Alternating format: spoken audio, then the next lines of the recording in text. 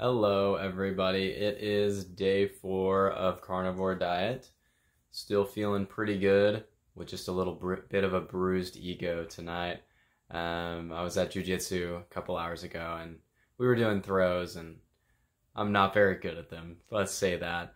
Um, but other than that, feeling pretty good. Um, did have a bowel movement today, so that's good. One thing to know is just like they're smaller and denser. I guess less frequent for me, but um, they're still there. So that's good news. The the organs are working. Um, still have a little bit of back pain coming on.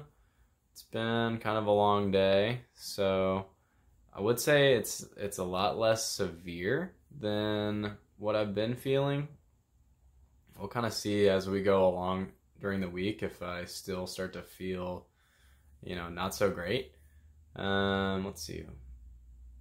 Other than that, like I don't have a whole lot to report. I'm just sort of fine tuning the the plan for what to eat when and just making sure I'm hitting all the calorie totals. So um just kind of getting through the week. So that's all I have to report for tonight. Thank you for tuning in and we'll see you tomorrow for the next